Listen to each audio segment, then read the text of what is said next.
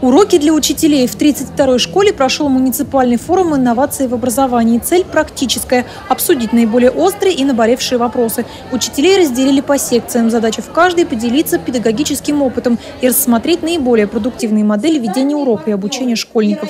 Этот 16-й по счету инновационный форум организаторы считают очень важным. На нем участники подводят итоги пилотных проектов, запущенных в школах и детских садах. Поделиться опытом приехали педагоги из Москвы, Владимира, Ярославля и Костромы. В завершении форума организаторы дали старт началу ежегодного конкурса «Учитель года».